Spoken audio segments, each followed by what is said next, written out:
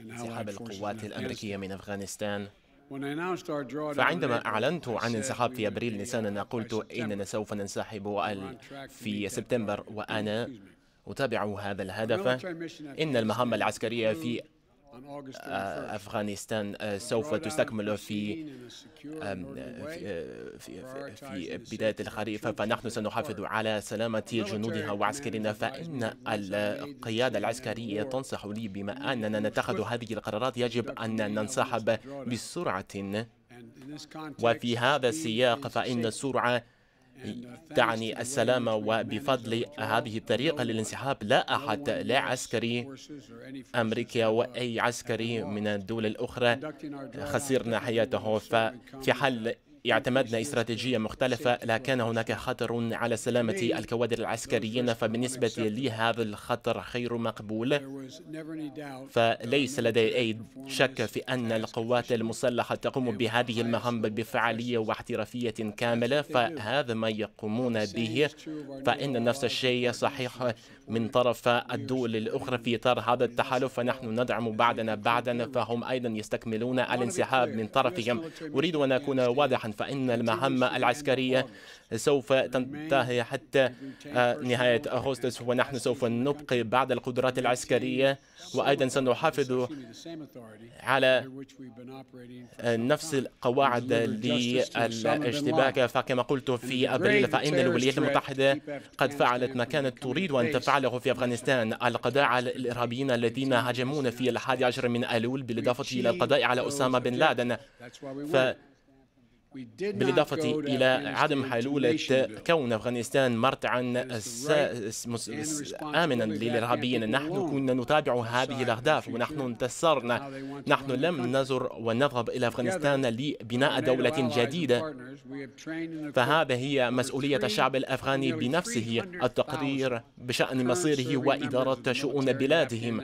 فسويا مع حلفائنا في الناتو نحن قد دربنا حوالي 300 ألف عسكري للقوات المسلحة والقوات الأمنية لدولة أفغانستان بالإضافة إلى الكوادر الآخرين وبالإضافة إلى ذلك لمئات الألوف من العسكريين الأفغان الذين كانوا يتدربون خلال عشرين عاما مضت فنحن نوفر جميع الآليات لمساعدة القوات المسلحة الأفغانية بدءا من المعدات العسكرية والأسلحة النارية ونحن سنحافظ على تزويد هذه القوات بالمعدات وأنا أؤكد على أن القدرة على الحفاظ فأنا أريد أن أشدد وأنا شددت خلال لقائي مع الرئيس الأفغاني فإن القيادة الأفغانية يجب أن تلم شملها ويجب أن تدفع إلى المستقبل الذي يريده ويستحقه الشعب الأفغاني. ف...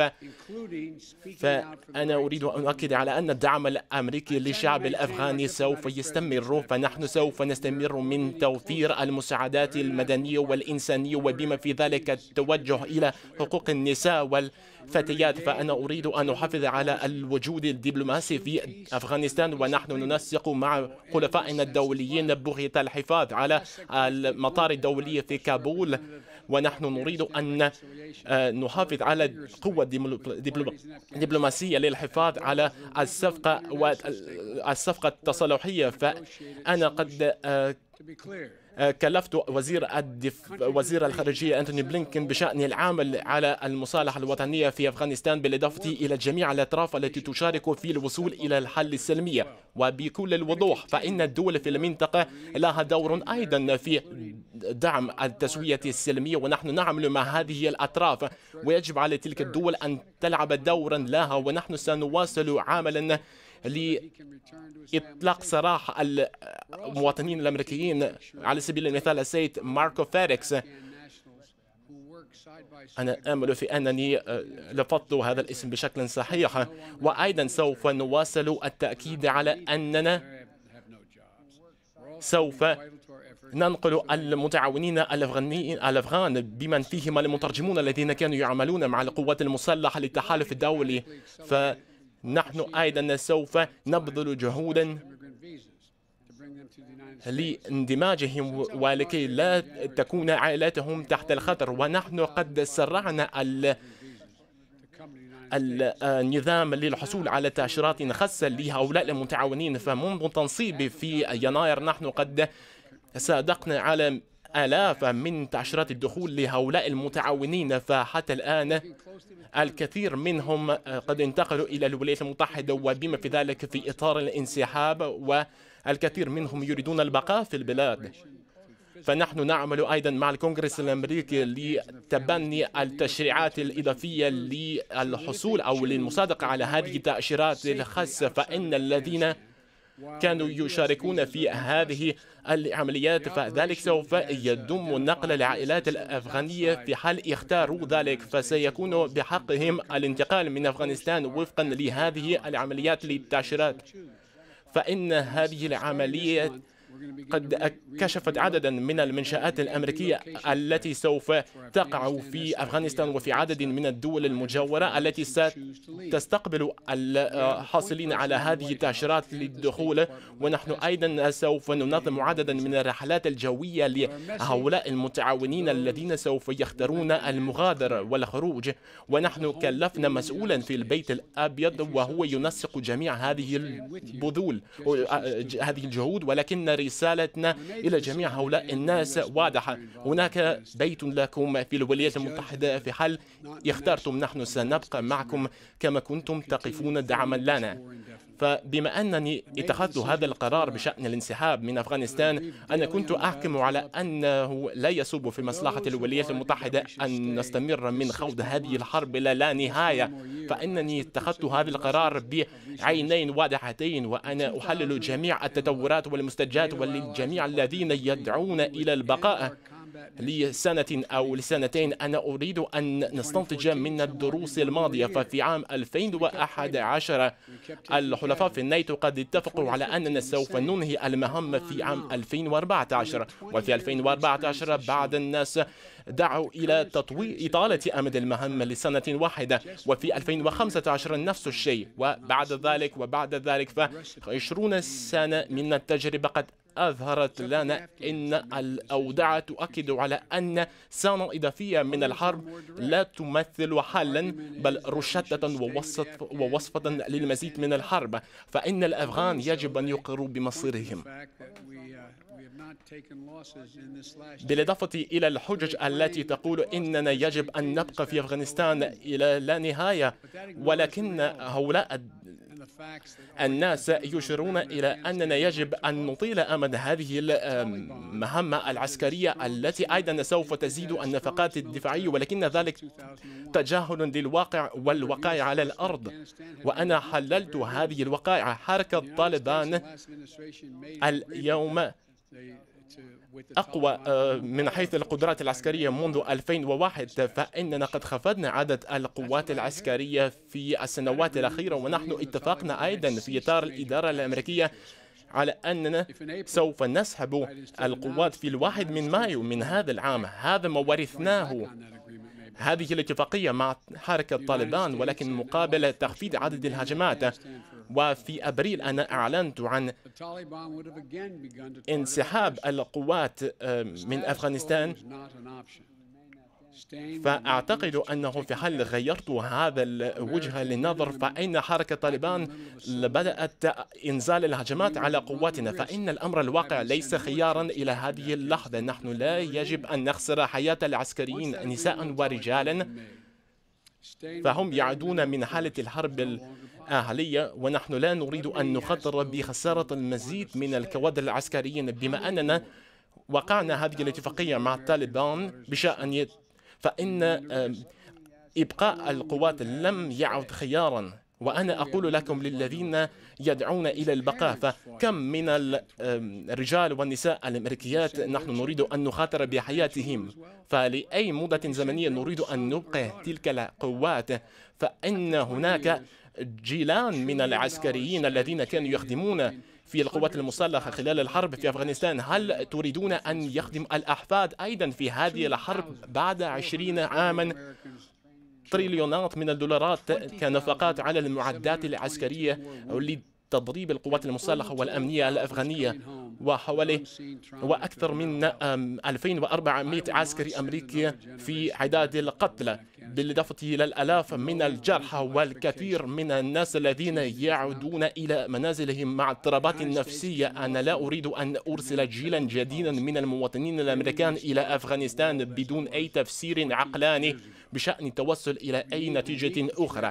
فإن الولايات المتحدة لا يمكن أن تسمح بأن تحدث مثل هذه السياسات اعتمادا على التحليلات القديمة فنحن يجب أن نكافح التحديات الإرهابية التي اليوم لا تشمل البلاد الأفغاني فقط فنحن نعيد تمركز مواردنا العسكرية لمطابقة التحديات والمخاطر في الأماكن الجديدة في جنوب شرق آسيا وشرق الأوسط وإفريقيا ولكننا لا يجب أن نخطئ في هذا السياق. الجيش الأمريكي اليوم مقتنع بأننا قادرون على حماية مصالحنا ودولتنا من أي تحد إرهابي يذكر ويرجع أو ينتج عن أفغانستان أيضا. نحن نطور استراتيجيات مكافحة الإرهاب بشكل شامل لكي نسمح لأنفسنا بالتركيز على أي خطر إرهابي في أي مكان أو في أي نقطة في العالم ويجب أن نركز على التأكيد على أن نكون متنافسين استراتيجيا مع الصين والدول الأخرى. فهذا أيضا سيحدد مصيرنا نحن يجب أن نكافح كوفيد 19 في دولتنا وفي كل العالم للتأكد على أننا سنكون مستعدين لجائحة مقبلة. نحن يجب أن نحدد القواعد للمجال السبراني عن طريق استخدام التكنولوجيات المعاصرة. نحن يجب أن نقوم بعمل ابتكاري لمكافحة التغيرات المناخية. وأيضا سوف نكون أكثر تأكدا أمام خصومنا ولكننا لا يجب أن نخوض حروبا قديمة. وفي النهاية أريد أن أعترف بالتضحية الكبرى والتكريس الشامل للقوات المسلحة الأمريكية والمدنيين الذين كانوا يخدمون مع حلفائنا وشركائنا خلال عشرين سنة مضت. فنحن نتشرف بأهمية ما قاموا به من الأعمال البطولية والتضحية الشخصية لهؤلاء الناس وأيضا هذه الأثمان الباهظة وهم يتابعون ويكافحون الخطر الإرهابي في أحد أخطر نقاط في كل العالم وأنا زرت هذه البلاد بالإضافة إلى آه، حماية الأفغان خلال عشرين عاما. فأنا أريد أن أشكركم جميعا على خدمتكم. وعلى تكريسكم لهذه المهمة العسكرية. ولتضحيتكم وتضحية عائلاتكم وأسركم خلال هذه الحرب الطويلة. نحن لن ننسى أبدا جميع الذين قد كرسوا أنفسهم لأفغانستان والولايات المتحدة والذين كانت حياتهم قد تأثرت بهذه الخدمة والمهمة الصعبة. فنحن ننهي أطول حرب أمريكية في التاريخ ولكننا دائما سوف نتذكر أبطالنا وشجاعتهم. ليبارك الرب جميعكم والقوات المسلحة الأمريكية وشكرا جزيلا لكم.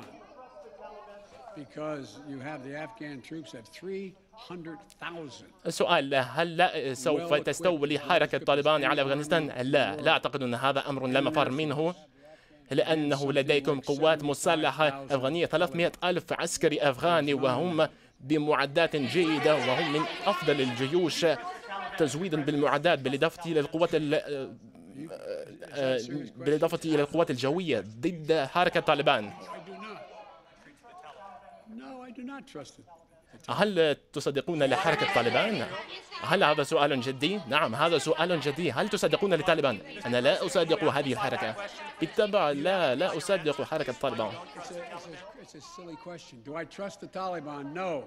But I trust the capacity of the Afghan military, لماذا لا تصدقون حركة طالبان؟ هذا سؤال غبي وسخيف. أنا لا أصدق الطالبان ولكنني أصدق قدرات القوات المسلحة الأفغانية التي أفضل تدريبا أفضل عتادا أفضل قدرة وأفضل كفاءة من حيث ممارسة العمليات العسكرية. شكرا فخامة الرئيس. أخذا بالحسبان الكثير من النفقات الدفاعية على والكثير من التضحيات وموقفكم بشأن هذا القرار خلال عشرين هل كانت هذه الحرب جديرة بتنفيذها؟ أنتم تعرفون سجلي السياسي أنا كنت معارضا على وجود القوات المسلحة في أفغانستان فأنا كنت أقول منذ البداية كما تتذكرون وكل ذلك طرأ على السطح عندما عندما أصبحت رئيسا فلا دولة يمكن أن توحد أفغانستان لا دولة أخرى. فإن الإمبراطوريات كانت تزهق في هذه البلاد ولم تنفذ هذه المهمة. فإن المهمة والتركيز الأساسي وأنا أعتقد أننا انتصرنا في أفغانستان ففي الماضي عندما كان أسامة بن لادن وقد هرب من أيدي قواتنا نحن ذهبنا إلى هناك لسببين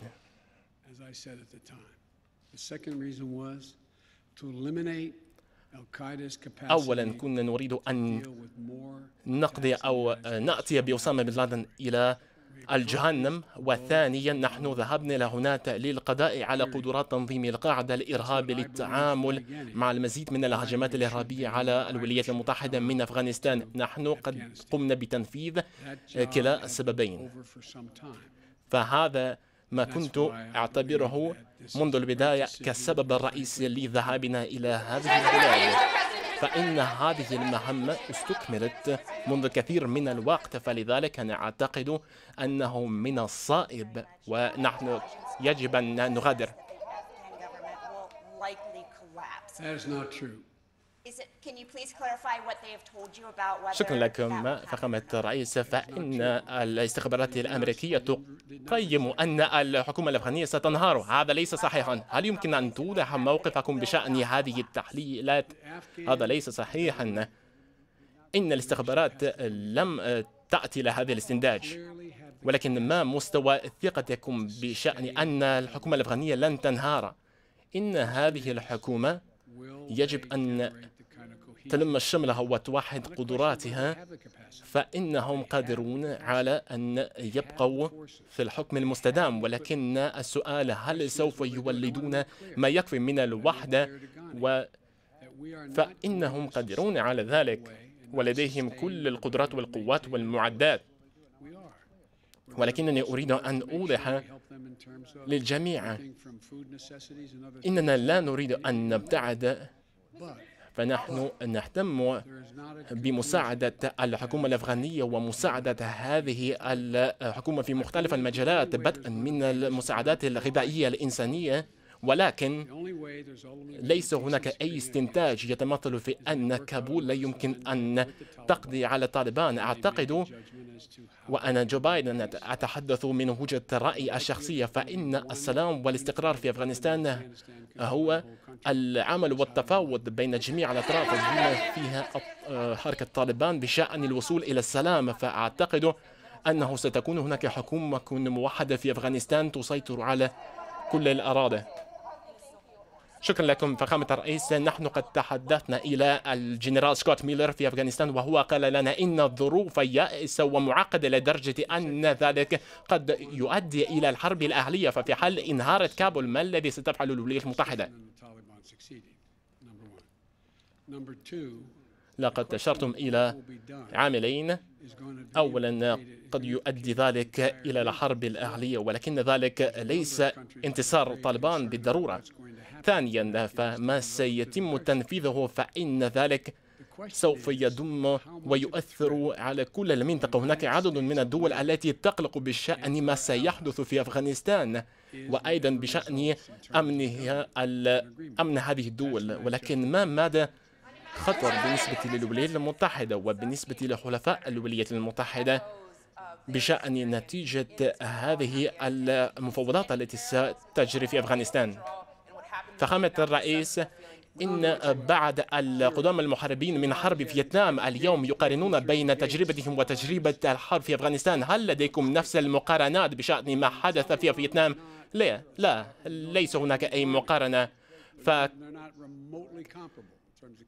كان هناك انسحاب فوضوي في فيتنام في جنوب فيتنام ولكن هنا في أفغانستان طالبان ليس كالجيش الفيتنامي الشمالي فلن تكون هناك مثل هذه المشاهد عندما يتم إجلاء الناس من أسطح السفارة الأمريكية مثل ما كان هناك في فيتنام الجنوبي فإن ذلك أمر ليس غير قابل للمقارنة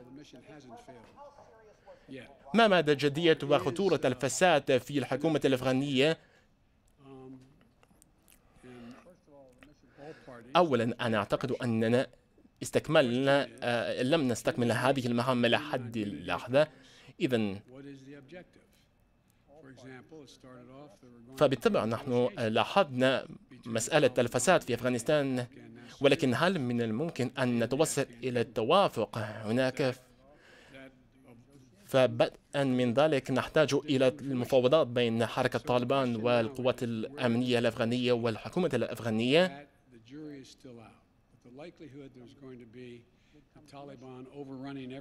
لحد الآن لم تؤتي هذه المفاوضات ثمارا ولكن السؤال بشأن نتائج هذه المفاوضات فإن الاحتمال يكمن في أن حركة لا أعتقد أن طالبان ستستولي على كل دولة. ما مدى مسؤولية الإدارة الأمريكية عن آه، مقتل الأفغان خلال هذه الحرب. لا أعتقد أن الشعب الأفغاني يجب أن يقر بمصيره وبحكومته فنحن لا يجب أن نفرض أي نوع من الحكومة على الشعب الأفغاني ولا دولة قادرة على فعل ذلك. تذكروا التاريخ ففي آه، فأبدا لم تكن أفغانستان تحت سيطرة دولة أخرى. لا مرة في التاريخ إذا بما أن هذا لحظة استكمال المهمة لا لا أعتقد أن هذا لحظة استكمال المهمة إذا نحن استكملنا هذه المهمة عندما قضينا على أسامة بن لادن في الحقيقة. كما قلتم في الإشارات هل أنتم مرتاحون بتوقيت إعادة التمركز؟ هل ذلك كاف لكي تكونوا مرتاحين الآن؟ الكثير من المهمات